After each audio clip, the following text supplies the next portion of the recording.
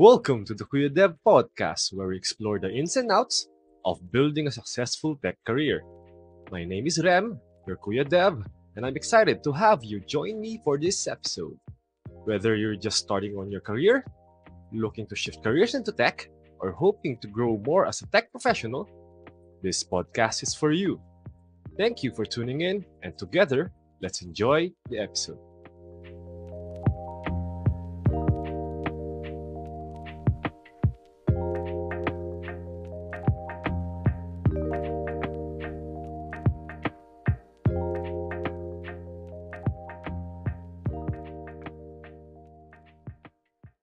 Welcome to the season finale of the Kuya Dev podcast. And like tradition natin nitong mga previous seasons, every season is may interviewin ulit tayo na isa pang tech professional, another career shifter uh, in this instance. And very special to kasi kaibigan natin to, uh, long-time friend and colleague. At uh, para lang bigyan kayo ng konting context bago natin simulan is ano siya, um, di siya nakatapos ng college, no? And despite that, no, in spite of not having a degree, naka-land siya ng opportunity in web development.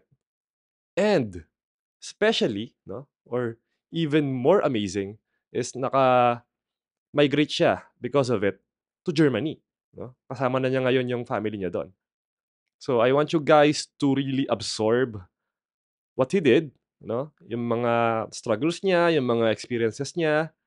And actually, masaya tong tong anong to eh, tong interview na to kasi syempre pagkakaibigan mo ah, na matagal, may mga nakakatawang mga bits in terms of our experiences na shinare namin.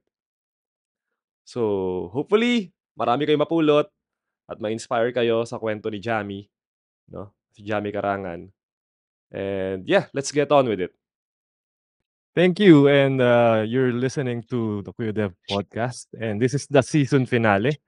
And as promised, we will ha- be having uh, Jamie Karangan. Uh, kasakasama ko dati to sa Free Code Camp uh, years back. And ngayon, nasa Germany na siya. Uh, in just a few years, di ba? Uh, since ano, nagsimula tayo. So yeah, uh, welcome, uh, Jamie. And thank you for uh, finally guesting on uh, on the podcast. Yes, thank you. Hi guys. Um happy to be here. Thank you for the invite. And yeah. Ayun, sige, simulan na agad natin. simulan na agad, agad natin dun sa pinaka-umpisa. Paano ka nagsimula? Di ba? Para, uh, or actually, bago ka magsimula, before ka magpumasok sa tech, ano ka muna nun? Ano yung ginagawa mo and what made you jump into tech? Yeah. Sige. Um so before ako mag nag maging web dev, um I was a freelance um content writer. So nagsusulat ako mula 2014 until 2016 ata, yeah. And before that, um isa akong ano dropout ng college. so Yeah.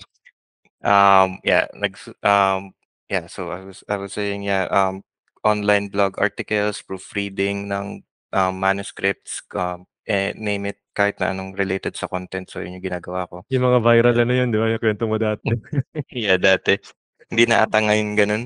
Um, ano, wala na ba yun? Tumi- iba na, iba na, hindi, I mean, iba na ata ang, ang atake ngayon sa pagsusulat ng mga ganun. Pero hindi na ako Ah. masyadong, hindi na masyadong tawag ito, up to date. Pero yeah, ganun din ako dati. Yung mga napabasa nyo ng mga clickbaity articles na hindi naman siya related sa scam sites. Pero yeah, para makakuha ng mga mas mas mataas na views tsaka yeah, turnovers. Yan, yun yung ginagawa ko last last time.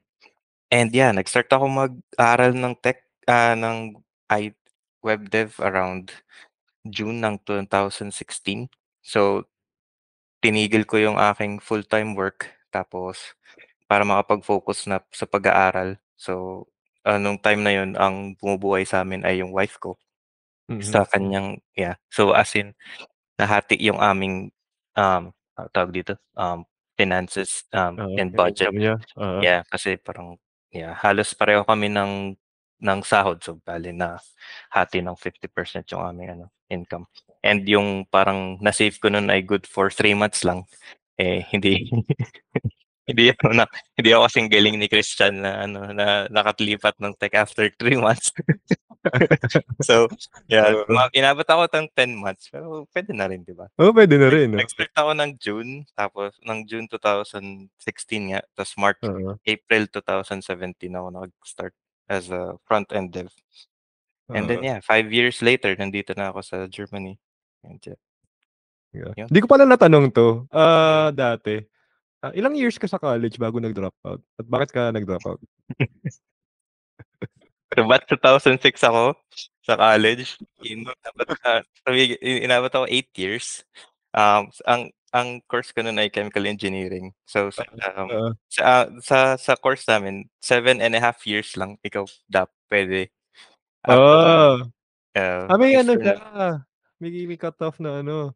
Yeah, parang ang Chem-Eng kasi is 5 years, 'di ba? Tapos Oo. meron silang binibigay na palugit na half Oo. nung nung year na kailangan mong i-take yung course. So, plus 2.5 so 7 1/2 years ka lang puwede. Oo. After nun kailangan mo ka ng mag-appeal para Oo. mapapasok.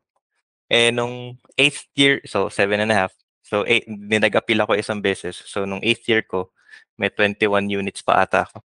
Tapos, eh, wala masyado na akong ay, I don't know, di ko na na kailangan ko na mag-work kasi nung time na yun ano na, eh, 4 years old na si Noah yung panganay So, oo. and si Pia pa lang yung nag, um, nag-aano sa'min eh, nung may kumikita sa'min nun, eh, Oo. Oo, mag-nu-nurse kaya pala. magpapasok na siya, eh, di ko rin naman nakikita yung sarili ko na tatapusin 'to. So, bet pa kailangan, you know, Parang i-push mo kunin na lang sila. Yeah, parang kaila gumagawa lang ako nun para ano, eh, para may ipakita akong diploma sa parents ko, eh, hmm, di rin naman. Oo, oo. Paano ka napunta sa ano, sa content, writing? ah, writing? So, nung college kasi kailangan ko ng ano 'no, ng racket. Kasi wala akong, ah, nung mga late ano na, la pa ubo patapos sa parts na ayaw na akong bigyan ng baon ng tatay ko. Kasi wala wala naman daw siyang nakikitang returns. So, parang meron akong extra extra money. Ang una kong ginawa nun, meron kasi kaming subject sa college na um, Eng 2 yung Eng 2 yung tawag sa kanya, English 2. Kailangan mo gumawa ng research paper sa dulo ng sem, parang yun yung yung iyong parang final project. Eh, um, ang meron akong isang kakilala na na, eh, isang parang kaibigan na nakagawa naman siya kaso di siya confident dun sa sinulat niya. So, Oo. kung puwede daw bang i-proof proofread ko. Di pinroofread ko tas ang ang bigay niya sa'kin pina bi bi nilibre niya lang ako ng ano, ng isang ng pagkain for the for the whole week. So, sagot niya yung lunch ko tsaka dinner, puwede na rin, 'di ba? Oo. Tapos, eh, maganda yung naging maganda yung naging score niya. So, sinabi niya dun sa iba niyang mga kaibigan hanggang Oo. sa ang dami kang ang dami ng pumunta sa'kin para magpa-proofread. Nice. Oo, oo. So, yung dun dun sa naging Eng 2 yun, ah, yung naging isang subject tas eventually may isa nagpa-proofread naman ng manuscript niya na or ng thesis hanggang sa dun dun dun na u dumami yung parang ano term, clients. Hanggang sa Galing yung 'no? kong yung isa kong client, oh, sabi niya try ko daw mag-ano, magtingin sa Upwork kasi siyempre mm. hindi ko pa alam yung Upwork nun, dun ko lang sa kanya nalaman. Kasi meron Mm. din daw nganong mga jobs dun. Tas mula dun nakakita ako ng ibang clients hanggang na. So, nag-start ng yung patuloy na yung o Tapos yun, nag-start nga siya sa proofreading and and then may hanggang hanggang sa nakakuha na ako ng mga clients na nagpi nagpapagawa sa'kin ng articles talaga, nagpapa-research and stuff. Galing, galing kasi, ah, parang nag nag-start from one skill yun, eh, 'no? Tapos nag, Yeah, ah, yan na tumagal-tagal. nanganak, oo. Oo, if Actually yung if if mhm. you're good at something, eh. Yeah. Actually nung kaya ako naka na 'di ba na nakwento ko naman din 'di ba nung nung kaya ako natanggap dun sa first job ko is dahil parang sinabi ko rin na meron akong ganong, um, skills and Oo, yung sa mga una kong clients ay parang isang vlog moto mo moto vlog, ah, Oo, yeah. oo. So yun, lang katagal rin pala nag ano, ah, content writer? 4 years, 3, Tagal 3 years. din, tagal Yeah. din. Yung isasama mo yung, ah, mga yung aking sideline nung college yun nga, mga Oo. 4, ah, 4, 5 years. Tagal din. Tapos paano mo natuklasan yung ano, yung tech tapos paano mo na kailan mo nalaman na parang puwede palang gawing na ano, gawing career para i-pursue? Ano ba, may may nakita kasi ako na parang, um, may nakita akong parang ad sa Facebook ng Coursera. Ah, okey. Nung time na yun iba pa yung Coursera, eh, parang ngayon kasi parang di ko na nabalikan pero nung time na yun parang puwede kang mamili ng isang parang curriculum ba Oo. from one lesson to until dun sa dulo ng curriculum. Nakita ko yung parang ino-offer ng Singapore University ata about web dev. Oo. Tas nung time na yun ano pa nga, eh, Angular 1 pa yung ibibigay nila na Oo, mga inabot natin. 'no? Yeah. Angular tsaka jQuery. Yung Angular na latest ano na yun paste. ah, gandang-ganda ka na nun. Yeah. Wow, puwede palang idikit yung model sa ano, view, wow, parang gano'n. Eh, Angas, di angas eh eh, di eh, di tinry ko yung una ano lang yun yung HTML, CSS tas basic JavaScript lang. Tinry ko lang on, ah, ano lang na kasi parang dun kasama sa ad na parang libre yung first curriculum or something or first Oo. course. So tinry ko then, eh, may background din naman ako nung co college kasi meron kaming isang, ah, meron kaming engineering na engineering na programming na na course. 3 units lang naman siya. Tas nung high school, medyo advanced din naman yung prog sa programming namin na lessons. So medyo kamay ko naman siya kahit papaano. Hindi siya start from scratch kumbaga. Oo. Parang alam ko na yung if statements, alam ko na yung for loops, alam ko na yung functions, yung object, pero siyempre hindi pa gano'n ka in-depth. Yeah. Alam ko lang siya, parang tapos, um yun, so nag-start nga siya dun. Then nagustuhan ko. Then nakit eh, di af after siyempre habang nagbabasa nun nagtitingin-tingin din ako ng mga articles about it. Oo. Then nakita ko nga na may ganun palang, um, you know, Option. parang option na Oo. puwede kang maging self-studied na IT professional. So tas sinabi ko kay sa wife ko nun na, "Mi, feeling ko mas bagay ako dito kaysa sa pagsusulat." Oo, Parang oo. alam mo yun, parang mas yu yung yung yung bang kung bakit ako nagus kung bakit ko nagustuhan yung engineering mas maa-apply ko yun sa pagiging, eh, in the IT tech eh, I I IT industry kaysa kung sa nasa writing ako, content writing ako. Yeah, yeah. Tas yun, eh, di sabi ko nakapag-ipon naman ako, baka puwede baka puwede baka puwede mong tangkihin yung budget natin ng 3 months. Sabi ko 3 months lang. 3 Feeling ko months enough lang. na yun kasi kasi parang yung yung curriculum ng ano ng ng Coursera parang 3, 4, 5 months, eh. So Ah, okey. eh, sabi ko yung 2 months, eh, di ano na lang tipid na lang tayo puwede naman tayong mag-barbecue diyan sa kanto, ₱10 lang nun each, di ba, parang gano'n. Eh, di kayang-kaya tayong mabuhay siguro. Tapos bayad naman ng tuition ni nung panganay ko nung time na yun, nung year na yun kasi Oo. nagbayad kami ng tuition ano, May, eh. So wala masyadong malaking sabagsak. gastos. Oo. Yeah, eh, di yun. Ngayon nga, eh, nakita ko siyempre habang nag-aaral ka dun mo rin un ang parang parang may stages yun sa'kin, eh. Yung unang stage parang nasabi ko na, "Ah, shit sobrang dali lang nito kayang-kaya ko Ah, 'to." oo. May graph yun. Kaya 'to 3 months kaya 'to 3 months. Tapos 'pag nandoon na ako sa nung nung nandun ka na sa kailangan mo ng mag-aral ng algorithm, ah, tama ba 'tong pinasok ko? Tapos yun alam na-realize mo na, ah, hindi pala hindi pa pala kaya. Tas by November actually meron meron akong in-applyan sa, um, Upwork na parang parang ganun din, trabaho din na related sa IT, part-time lang naman siya, pero web dev. Pero ang ano parang magiging full stack ka, is wala pa akong alam sa back-end nun. Wala pa nga rin ako masyadong alam sa front-end nun, eh. Alam ko lang na may JavaScript, tapos may HTML, may CSS, tapos yung JavaScript marami siyang libraries na puwede mong gamitin. Oo. Tapos yung pinagawa sa'kin nun is parang timetable app, timekeeping. Kumbaga may time in, time out yung employers eh, employees sorry.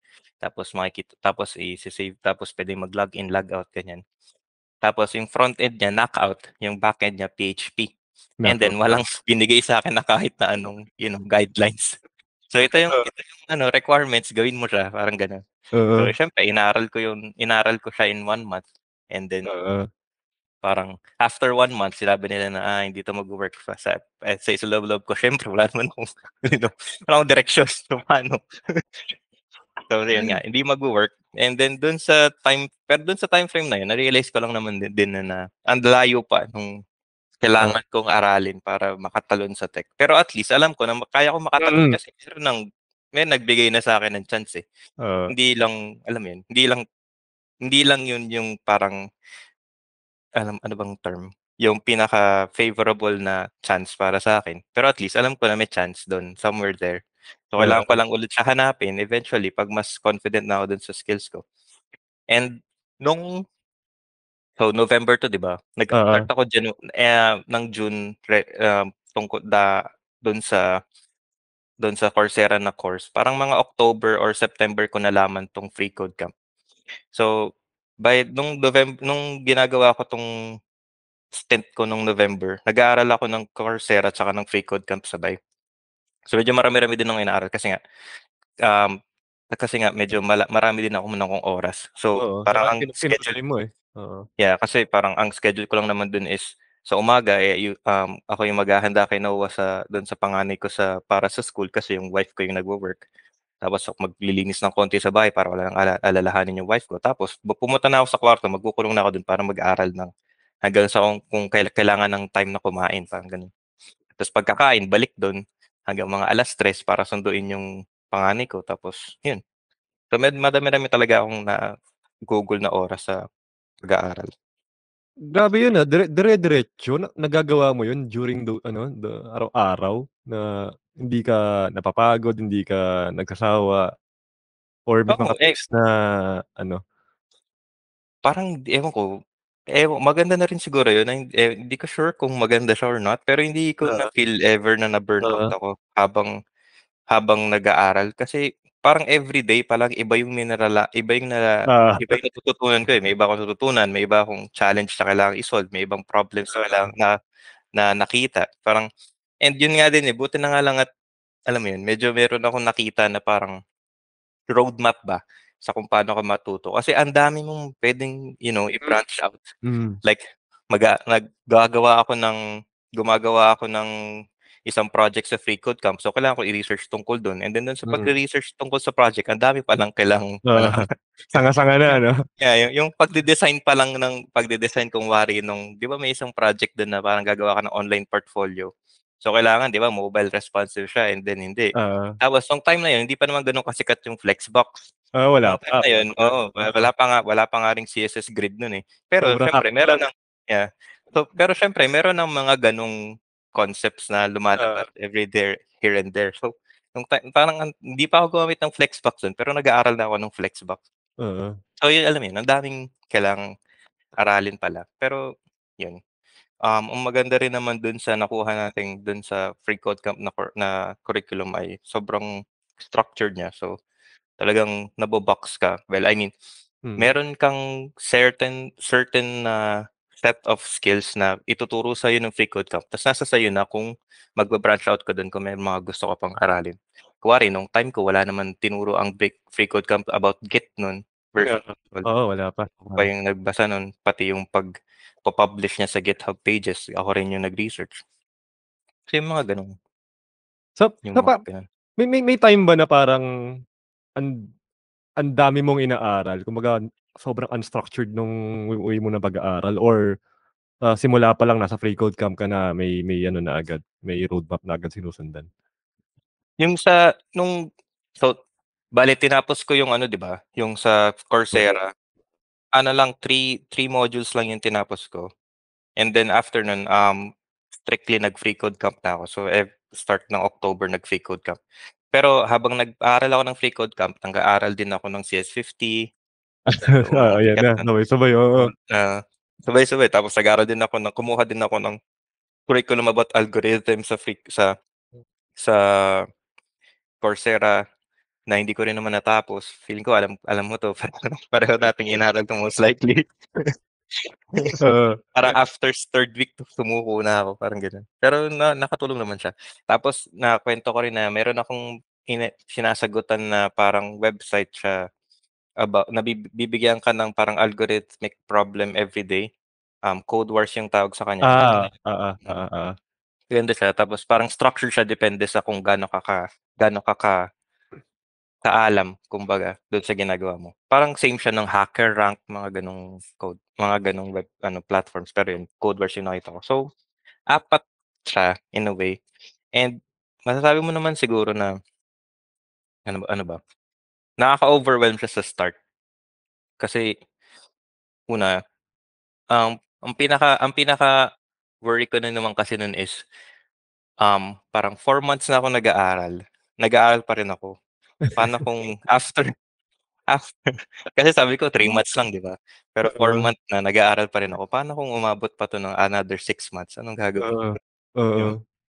Pero kasi yung 'pag man ang ang pang-ano ko naman is 'pag nanonood ako ng mga mga ga sample sa YouTube, may mga alam mo yun, sa mga suggested videos, yung mga success stories ng mga naka-shift. Yun, so yun Ah. parang pang-break nung lahat ng anxiety, yung Oo. pinanood lang ako sa, "Ito kaya nito, feeling ko kaya ko din 'yan. Oo, mas magaling ako dito." Mga gano'ng pagbubuhat ng sariling bangko ba. Oo. Pero yung kung totoo naman yung alam mo yun, yung feeling na sobrang overwhelming ng lahat, lalo na kung di mo talaga alam kung tama yung ginagawa mo and kung may patutunguhan ka. Pero yun, ang maganda rin naman dun sa Freecodecamp, 'di ba may parang ano yun, eh, may parang um, forum Oo. and then dun sa forum nagtutulungan yung mga tao and marami ka mababasa talaga na success stories. Tas makikita mo na dun sa success stories din, parang alam mo yun, may mga may mga success stories na kapareho nung ginagawa mo ngayon. Oo. Alam mo na kung susundan mo lang yung ginawa niya or kung pagpapatuloy mo yung ginawa mo, eventually siguro magaga makakamit mo rin yung nakamit nung nagsulat na yun, 'di ba? And yun, awa ng Diyos, after another 6 months nakamit ko rin naman. So, Hmm. nag-post din ako ng success story ko dun sa Freecodecamp, ang dami ring na dami ring na-inspire sa'kin. Tapos, Oo. eh, eventually may mga nagko-comment nagko-comment din na, "Oo, nagawa ko rin 'to, thanks sa mga ganyan." Oh, di di ba?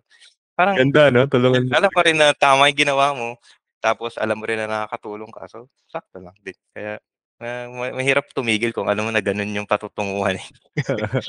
Kaya Ah, pero nagkaroon ba ng ano, ng at time na parang binigyan mo yung deadli sa deadline yung sarili mo na hanggang dito dito na lang ako, if ever di mangyari 'to, tigil na? Hindi, eh, parang Talagang ano, porsigido talaga? Oo, kasi ang ang naisip ko nun, since naman nandidito na ako, ang pinaka ang pinaka ano ba, parang nega ang pinaka yung pinaka-ideal scenario is makata talon ka sa tech, 'di ba? Yung Oo. pinaka non-ideal is magsayang ka ng 10 months or so na sa pag-aaral tapos di mo ma ma-apply. Pero meron pa rin naman akong hindi, kampante naman ako na pagka kunwari di ako na hindi ako na nakatalon sa tech, puwede akong bumalik ulit sa content writing. And Yeah. naisip ko, siguro yeah, kasi freelance naman yun, eh. So, Mm. feeling ko kaya ko pa rin naman and I mean, hindi naman sila yung ang mga clients ko naman ever since ano, eh, um, international and hindi naman sila particular na, "Ah, hindi masyado ka na matanda para dito," or "Ba't ka may gap sa resume Ah, mo," or oo, something. oo. Hindi naman sila gano'n, 'di ba? So, um, hindi pumasok sa'kin na time box. Though siyempre may may internal na alam mo yun, anxiety pa rin and Ah. na kasi ang tagal na yung asawa ko na yung bumubuhay sa'kin. Na kaya naman na ang ang Oo. tanging ambag ko lang dito sa bahay ay maglinis tsaka magluto, parang. Oo. Mag-ayos sa ano, gusto ko rin makaambag na makapag-travel kami sometime or makapunta sa mall ng mas alam makapamili ng mas magagandang bagay, gano'n. Pero yun din, naging fuel na lang din siya, 'di ba, na na yeah, parang, eh, ngayon siguro wala akong mabigay pero after 2, 3 years sigurado ng kahit na hindi magtrabaho si Pia kayang-kaya ko siyang i-support. Oo. Eh, yun din naman yung nangyari. So, okey lang din. Parang ano 'no, taga Hmm. talagang ano 'no, ah, trust the process yung nangyari. Parang gano'n nga talaga yung nangyari. Pero at least Eh mga nababasa ka na parang success story kasi kapag walang gano'n Yeah, parang mahirap din kung ikaw lang ta ikaw Oo. lang parang wala kang pagpa-patternan ba kung ng kung tama yung ginagawa mo. Tas yun, um, yun din parang ang pinaka ang pinaka-ano lang ma ang pinaka-stress inducing lang naman is yung parents yung mga taong nagsasabi sa'yo na ba't mo ba ginagawa yun, wala namang pakinabang. Ah, naka And nakarinig sa nun. yeah, and sa sa part ko, parents ko yung pinakagano'n. Kasi Oo. siyempre sila nandodo'n sila sa generation na kailangan mo ng diploma para Iyan, oo, makapagtrabaho tama. and wala akong diploma. Tapos ngayon nag-aaral ako, eh, meron akong pinapa pin binubuhay na na anak na Tama. 6 years old na nung time na yun. Oo. Buti na lang yung siyempre yung wife ko tsaka yung mga kapatid ko, todo support sila so, eh, Swerte ngayon naman asawa mo rin, eh, 'no? Ah, to be 'no? So, sobrang sobrang suporta, 'no? Yeah, eh, yun din yung maganda kasi sinasabi ko nga sa kanya na, "Wag kang mag-alala Mi, after 3 years kahit na wag kahit na ubusin mo na lang yung pera natin okey lang sa'kin." Eh, yun din naman yung nangyari nga. Oo. tiwala rin siya sa'yo, eh. Eh, di naman niya na Oo. kasi alam din naman niya, eh, na may pinatutungan yung ginagawa ko tsaka nakikita niya rin naman kasi na nag-e-enjoy ako. Oo, oo. Feeling ko parang ano din, eh, nung nagwo-wor nung nagco-content writing kasi ako parang may quota ka per week. Oo. Tapos parang asar na asar siya sa'kin kasi 'pag siyempre kokota ka ng articles per week, 'di ba? Pero 'pag nagsulat ka ng mas marami dun meron kang bonus. Hmm, hmm. So, ang kunwari ang quota ko ay mga 10 or 15 articles per week ta's dun sa 15 articles kikita ako ng mga $200, $300, um, dollars sa week na yun. Mm.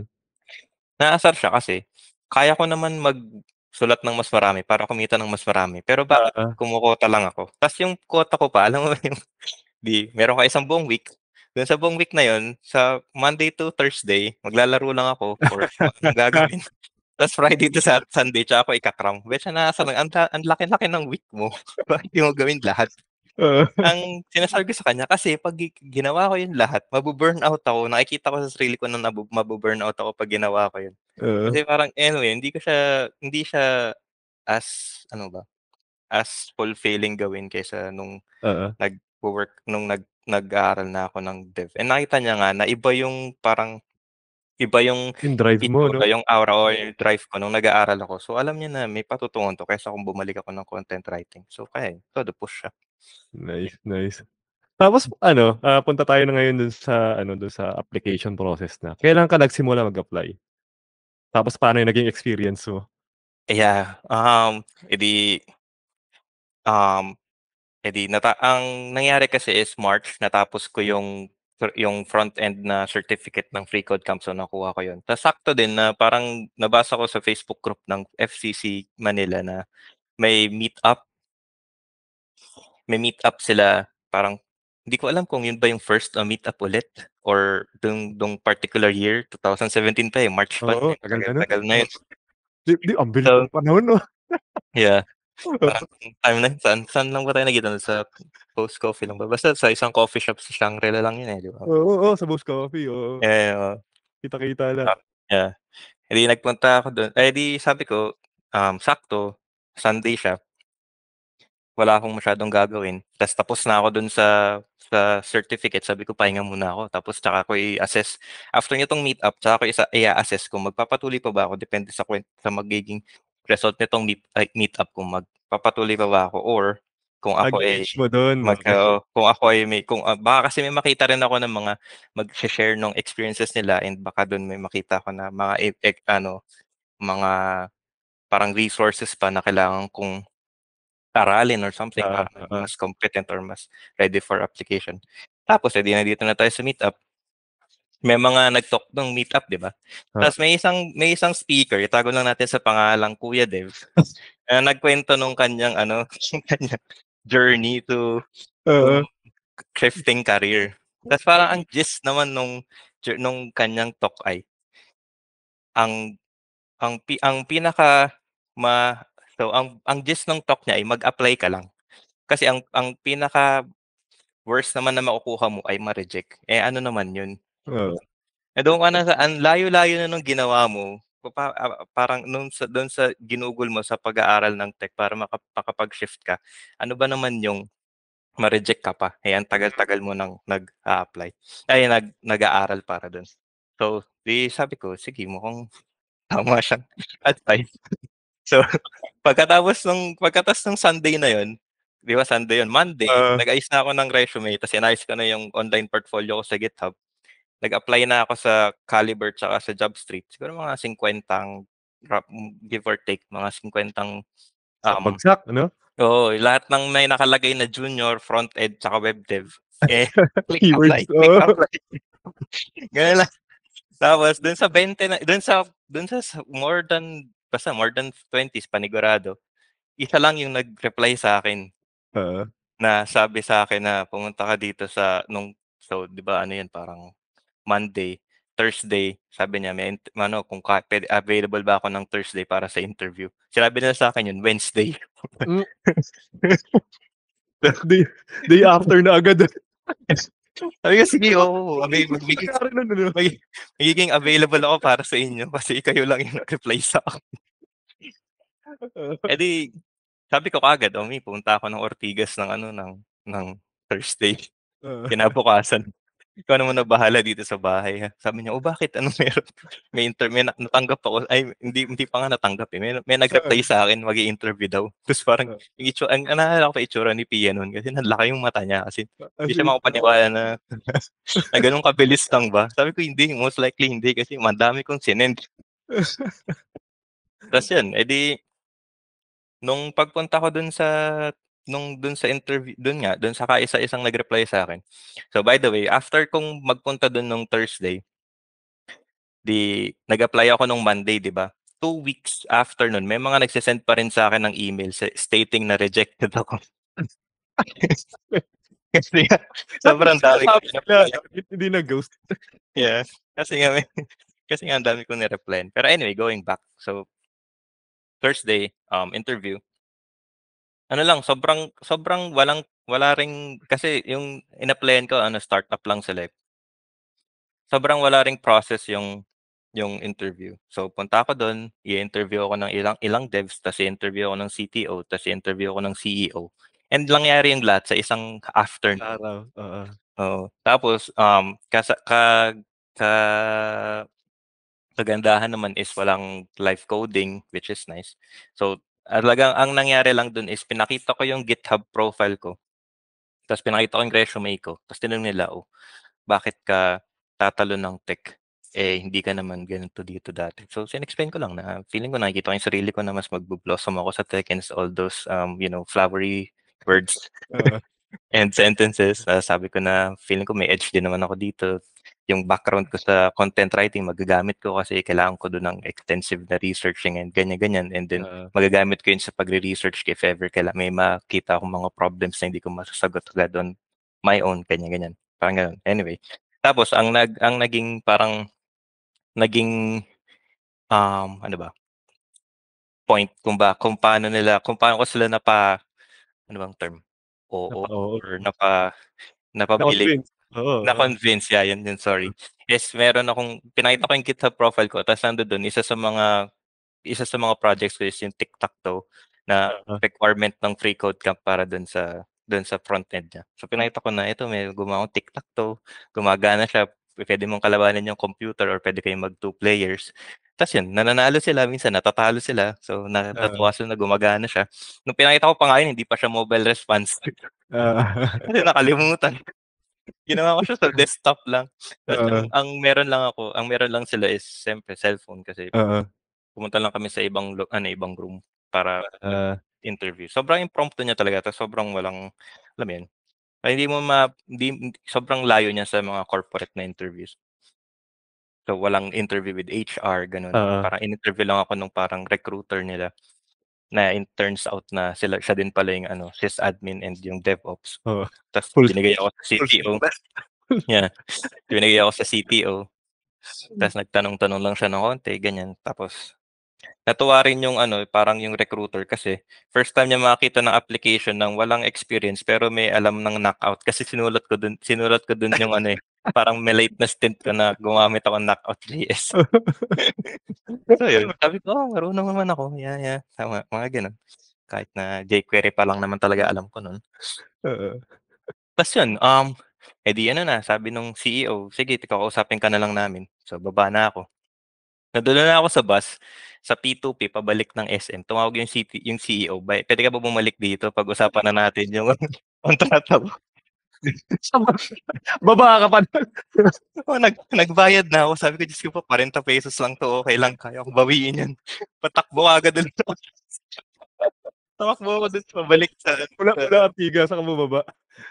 Oo, sa ano yun, eh, saan nga ba yung sa yung luma na na ano yun, eh, na sa sa tapat ng ng ano, ng ng San Miguel. Yung building sa Ah. tapat at Tycoon, Tycoon, sa Tycoon, Tycoon. oo, oo, oo, oo. Ayun, nasa Mega Mall na ako, bumalik ako Tycoon. Tinakbo ko yun mga siguro mga Kausap voice pa ako pagdating niya, oh, malayo-layo talaga. Topak din nung ano. Yes. Hindi pa ako pinahintay eh. Sabi ko, babalik, babalik na lang. Pero yun, tinawagan naman ako. Pero okay lang. Startup eh. Kaya, ano talaga, di, pagpunta ko doon, di pinag, ano na, um, sabi niya, sige, kukunin ka namin. Parang ganun. Tapos, pero ang mabibigay lang namin, kasi ang hiningi ko na starting nun, ano eh, 25. Mabibigay lang Mm. daw nila 20. Ah, Ang sabi ko, sarili, sa sarili ko, okay lang. ah, Feeling ko okay lang. Kasi, una, meron naman, meron namang trabaho si Pia. ah, So, then, nabubuhay naman niya kami doon sa trabaho niya. So, itong, so yung makukuha ko, parang pagdagdag na lang din. ah, ah, Na, eh, na, na-realize ko na hindi rin naman pala along the way kasi yung, yung sahod ko doon ay nap- napunta lang sa pamasahe tsaka pagkain sa opisina. Pero anyway, Kulang na. yeah.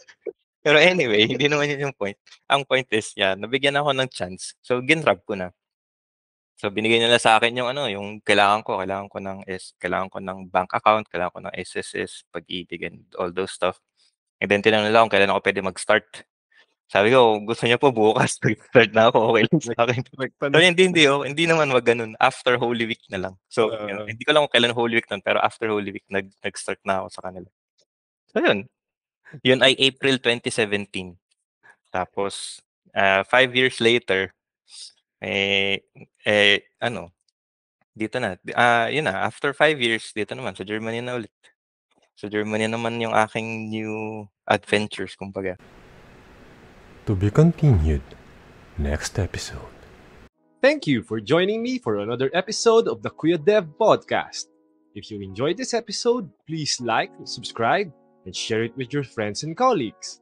If you have comments, suggestions, questions, stories you want to share, or any topic you'd like for me to discuss, drop me a message via kuyadev.com slash contact.